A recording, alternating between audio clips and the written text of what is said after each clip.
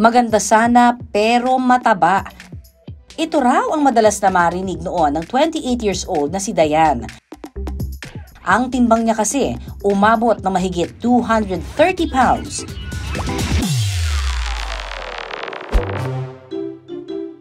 Ang motto niya raw kasi dati, Kanin is life. 13 ako, doon na nag-start yung pagiging mataba ko. Yun na yung malakas na akong kumain, wala na akong pake, nakakapitong kanin ako. Tapos nakakaubos ako ng crispy pata, siguro dalawa. At pagkatapos itumba ang rice cooker, ano pa nga ba raw ang masarap na gawin kundi ang humilata? But wait, huwag kakalimutan ang dessert. Ganito raw ang lifestyle ni Dayan, kaya naman lumobo ng lumobo ng lumobo ang kanyang timbang. Pero kasabay nito, lumiit naman daw ang kumpiyansa ni Dayan sa sarili. Sara ko big show, dabyana, taba, lahat na. Kahit yung mama ko tawag sa akin taba. So wala akong pakihanggan doon sa nag-college ako. The struggle is real din daw sa paghahanap ng mga damit. Ang size kasi ni Dayan noon, triple XL. Pero ang pinakaininda raw ni Dayan, hindi ang masasakit na salita, kundi ang epekto raw nito sa kanyang kalusugan. Dahil sa bigat ng kanyang timbang, mas madali raw siyang sumpungin ng sakit niyang hika. Magtali lang din daw ng sintas ng sapatos, pahirapan na. Masakit yung tuhod ko, man naglalakad ako. Hindi ako nakakalakad. Parang dyan lang sa labasan namin, pagod na ako. Yung hika ko, malala talaga siya, na ospital talaga ako. Pero ang nagsilbing wake-up call daw kay Dayan ay nang magpunta siya sa Japan noong 2019. Doon daw kasi karamihan sa mga babae petite Ayon po sa World Health Organization, ang pinakanangungunang bansa sa buong mundo na may pinakamahabang life expectancy ay ang bansang Japan.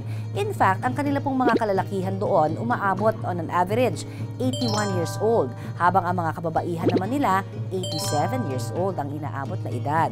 At ang kanila pong pagiging healthy pagdating sa pagkain, lalo na sa pag-iwas nila ng mga mamantikang pagkain, ang kanila pong isa sa mga dahilan ng pagkakaroon ng mahabang buhay. Kabilang po rin dyan yung kanilang healthy lifestyle dahil sila ho ay madalas naglalakad at nagbibisikleta. Kaya yang mga yan ang naka-inspire sa ating kapusong si Dayan para magkaroon din ng kanyang healthy lifestyle. Bumili ako sa grocery. Tapos, yung pagbalik ko, kasi dapat may bibilin ako ulit. Pagtingin ko, pagtingin ko ulit sa likod nila, tumatawa silang apat yung mga hapon. So, doon yung parang ang sakit, pinagtatawanan nila ako. Tapos bigla silang tumahimik nung pagharap ko. So, sabi ko talaga sa sarili ko, pag uwi ko, Dayan, magda-diet ka, start mo to kasi para sa'yo din to. Kasi hindi ka na bumabata, tumatanda ka na rin.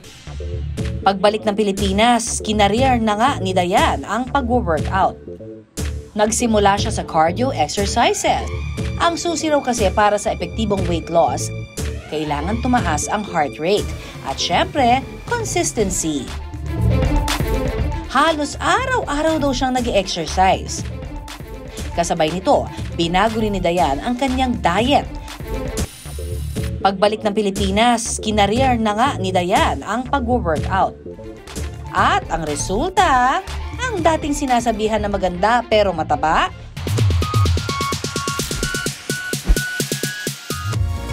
Ngayon, 70 pounds lighter na.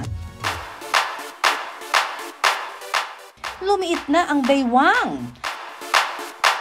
Mas payat na rin ang mga binti at braso.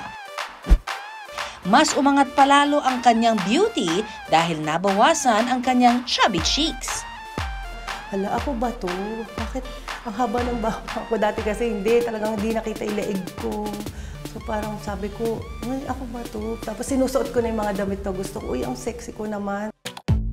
Ngayon, nagsusuot na rin si Dayan ng mga gusto niyang damit. Kaya nanumbalik ang kanyang confidence.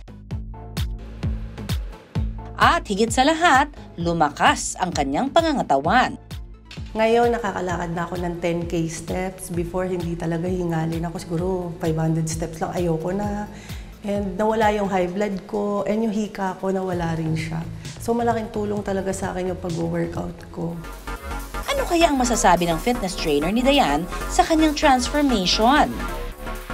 Si Dayan, um, nag-start siya 115 kg that time. Hirap na hirap siya sa workout dati. Kailangan mo siyang i-push, i-push, i-push, i-push. Seven months frame na ano. So ito na, ito na yung result niya. Nakuha namin 69 kg, pinakambaba. So from 115, Dayan, huwag ka babalik please. Here. Pagdating sa diet, hindi na raw nagra-rice ngayon si Dayan. Prutas na raw ang madalas niyang kinakain na mas mababa ang calorie content. Nag-goodbye na rin daw siya sa tsokolate. Dahil ang paboritong snack na niya ngayon, yogurt.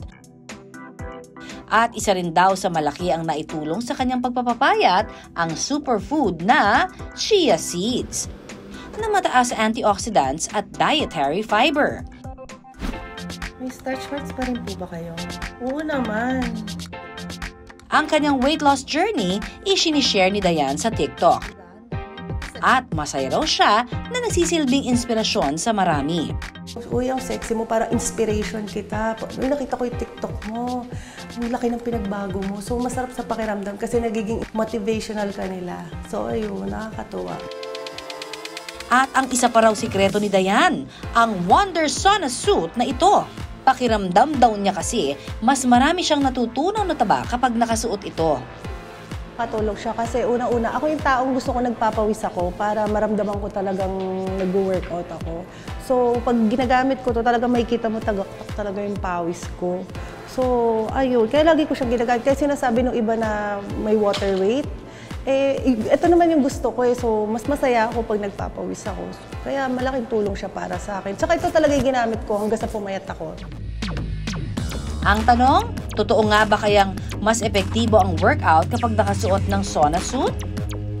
Actually, sweat, hindi siya parang nag indicate ng, ng, ng fat loss. Siguro, ah, ang pagkakaintindi ng mga karamihan sa, sa ah, pag, pagpapawis natin, though pagka pagtungtong mo sa timbang, gumagaan ka.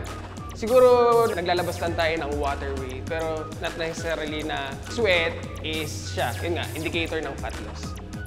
Ayun naman pala, hindi porket pinawisan tayo eh, natutunawan na tayo ng taba sa katawan. Ang mahalaga pa rin, hard work and consistency. Sa ngayon nga, halos araw-araw kung mag-gym si Dayan. Ang focus naman niya, mag-build ng muscle para masolusyonan ang problema niyang loose skin lalo sa bandang arms. Ang ganda! Wala sa timbang yan. Pero higit pang mahalaga, nag-iisang katawan, alagaan.